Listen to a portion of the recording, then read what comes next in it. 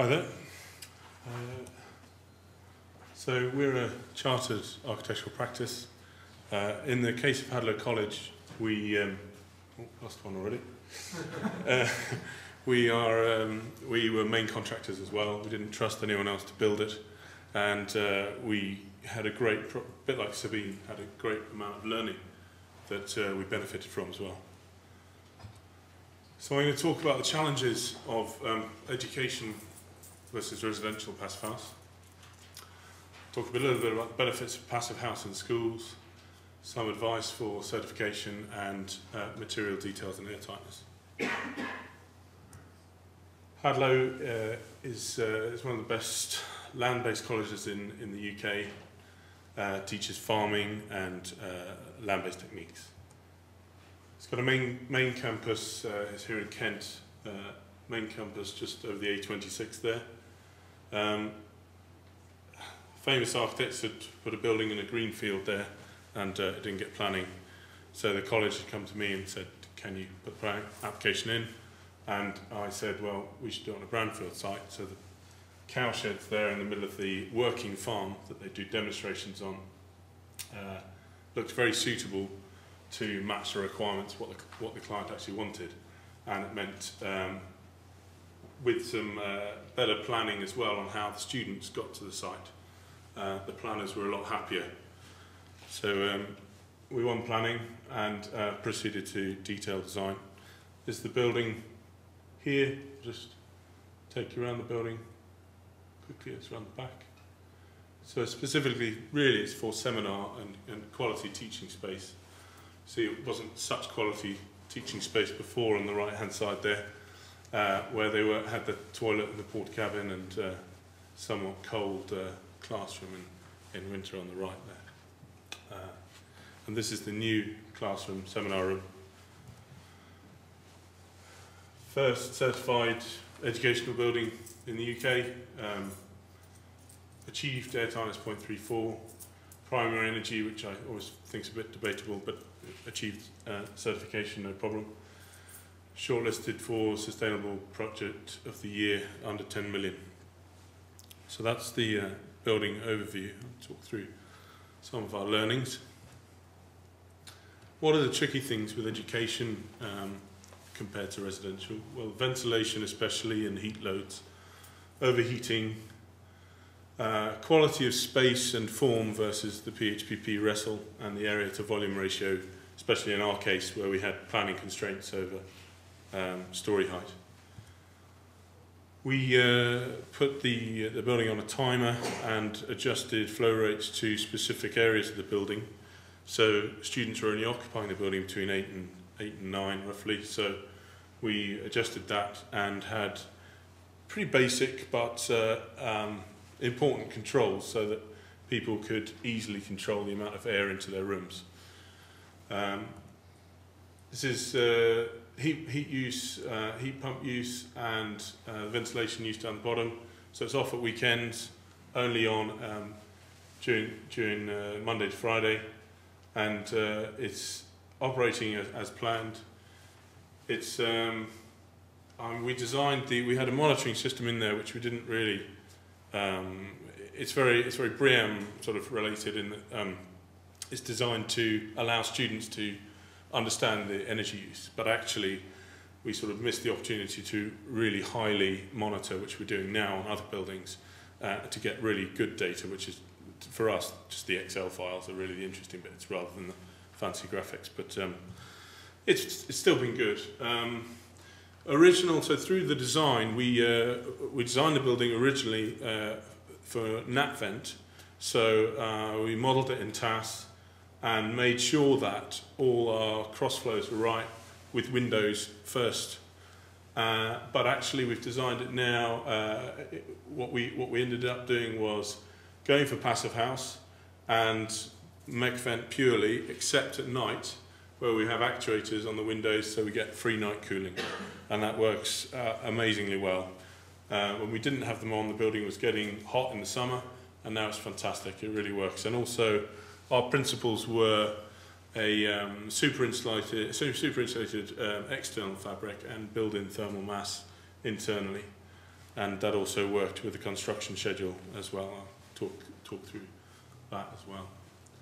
Um, we weren't convinced ourselves that uh, it was going to be bulletproof, so we uh, put in a, a ground source heat pump, which does cooling and heating. Uh, that is in the model, in the PHPP model, uh, but it's only only uh, used very, very infrequently. So, uh, but but it was uh, kind of part of our um, methodology to make sure we we covered everything.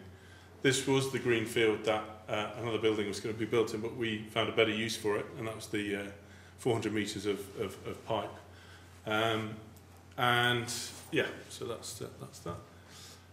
What Passive House in schools, uh, it's a more comfortable environment. The building is easier to operate, um, and it's known that there's an increased student concentration. In Norway and Denmark, they've done quite a few studies, and uh, it's the lowest possible energy cost. These are the benefits that why um, the, the finance director uh, commissioned us to do to the building. I thought I'd just show you this, uh, minus, minus 15 outside. Uh, this is one uh, small heater. We didn't have a heating system working. And uh, it's an even temperature of 15 degrees when we were working, which was really quite fantastic sort of uh, example of why a, a, a super airtight insulated building works. You know, so no heating system other than a site rad, and uh, it was it was toast toasty inside. Um, this is why we filter air, especially on a working farm. This is after three months. Obviously, with building, with with construction, there is in the in the usually the first air change is pretty is pretty rough anyway. But it's kind of nice to know the students aren't breathing this. That's one of our drivers. Uh, so here we just built in the thermal mass, uh, so medium density concrete block. Um, again, I mean, our, our, our principles in, in architecture really are that it's a fantastic space to be. That's where we want students to like being there. Um, but then acoustics are pretty important as well, material finishes, um, and the triple glazing here have really helped. We've had tractors outside seminars going on, and not, not a bother. Really, um, still excellent sound insulation. Um, involved in two schools last year, one 8 million, one 10 million. Twice, the noise survey and the air pollution survey cropped up and said, uh, okay, you're going to need mechanical ventilation for heat recovery and triple glazing. So you're already some way there to passive house. Um, that's in a city schools. So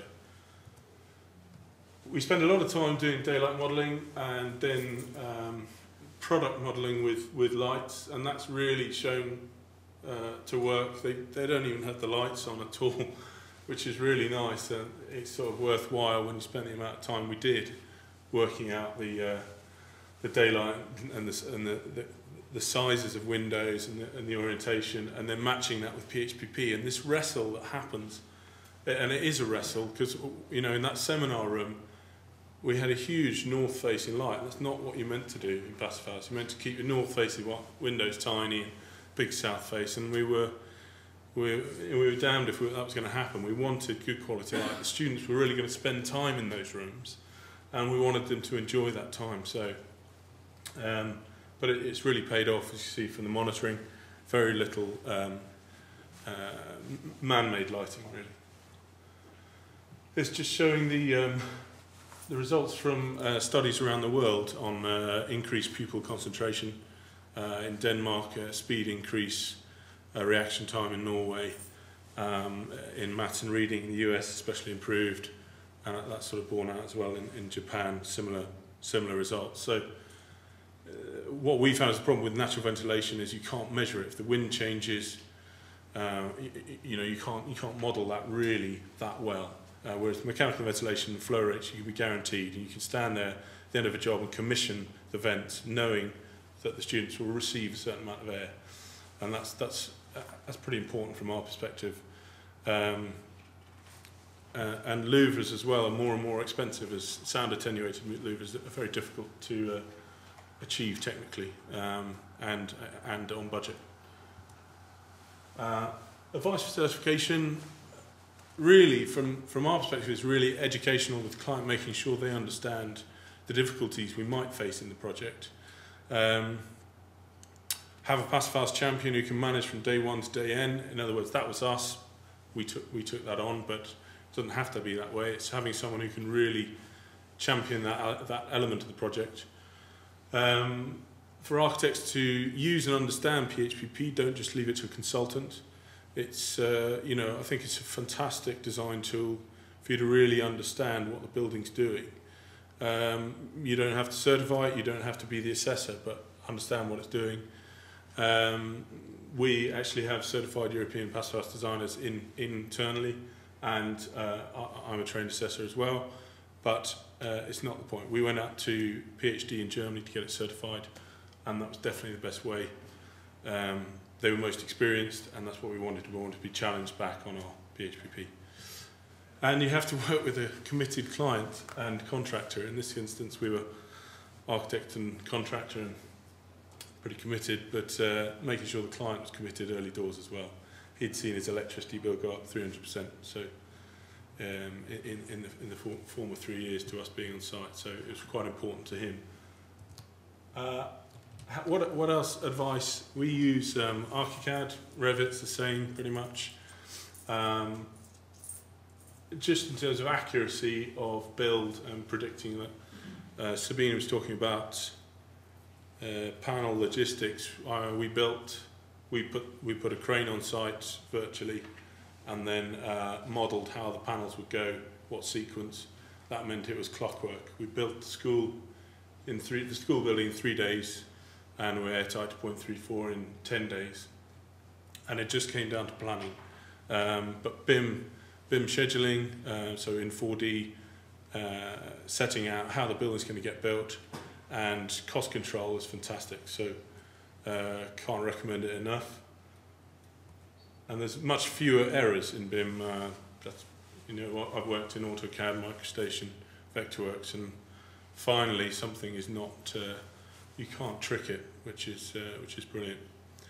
Uh, there's a few add-on benefits to that I'll talk about in a second. One of these is uh, solar modelling. Just very early stage, you can see what what you're building and the uh, and the effects of it. And so this is solar modelling. You can run a movie, see what shadows you're creating, and um, see the effect depending on time of year. And that's uh, just showing uh, as built. We built the ventilation system in uh, in MEP as well. Um, that that was really effective. The ductors were in in two days, no mess. We pre-built all the holes for the ventilation system, and no mess. And uh, they they actually were quite surprised because they didn't. They normally receive a plan and not quite sure yet and where their ducts are going to go. But in this instance, they're like, wow, oh, that's where it's going to go. Brilliant. So it made their job easier. Some really interesting add-on benefits of, uh, of modelling. Um, also, obviously, from an airtightness perspective, we pre-built the holes for the in and out of the ventilation system there. And um, those were the only punctures, the only apertures other than the windows and doors in the panels. So we could be really uh, guaranteed on our airtightness. Again, a little bit about ArchiCAD, um, just detailing makes things easier. Uh, Internorm have just released their, well, last year released their windows into ArchiCAD, so they have pre-built windows which you can drop into your, your buildings. Um, just really handy from a PHPP perspective in correlation with that. We can output from ArchiCAD directly into PHPP areas, volumes. It's a really handy tool. So, um, okay, thanks, John. Uh, yeah, material details. Okay. So we used prefabricated timber frames. We have a relationship with a factory in Austria um, that guarantees us airtightness and good quality um, joints. And uh, I'll talk a little bit about cost as well. So this is the factory in Austria. Um, reduced thermal bridging and uh, this is the biggest threat. Really, the biggest threat as a contractor moving into passive house building is, I think, I think, is the airtightness and achieving airtightness. So we reduce that by using these frames. Uh, that's the day one, day two, day three, and airtight. Um, so we managed to get, much like uh, Sabine was saying, we got it over in seven lorries, uh, very small cost. The uh, factory is uh, on uh, renewable energy, so it's very low embodied energy, in fact, uh, relative to the emissions related to uh, diesel.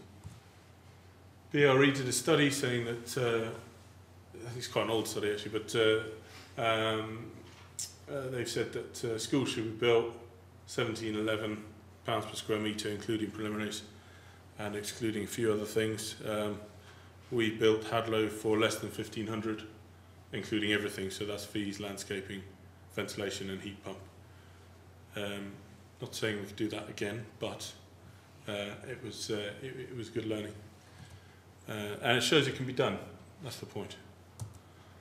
Uh, why do we have such faith in Passive House? Uh, I don't know if everyone's seen this before, but it's it really shows to me how far behind we are. This is 10 years ago, this research. Um, 220 units, uh, 14 projects across five across Europe, five different countries, and um, the orange bars are the uh, typical standard house uh, energy requirements, annual heat um, uh, requirements, and uh, in blue is what's modelled with PHPP, and in green, what actual consumption, and the tolerance of plus minus three percent.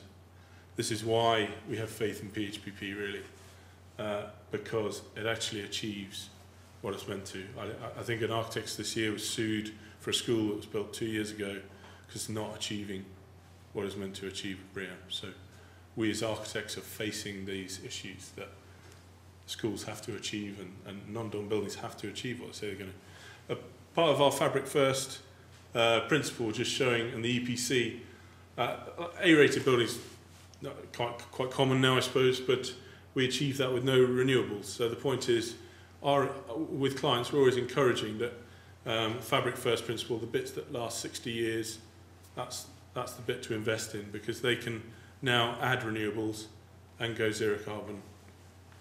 That's, that's, that's our uh, thinking. I always want to say thanks to a few people. Uh, we had some great people involved.